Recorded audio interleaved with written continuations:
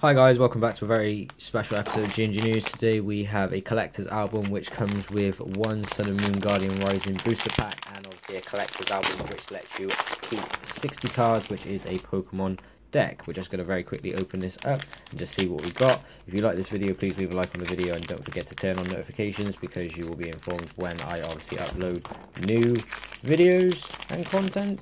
And yeah, green and white code card, we could get something good guys. So, Castform, Nosepass, Daddy Bird, Rock Rockruff, Salandit, Daddy Bird, Lycanroc GX, amazing. So good on one pull.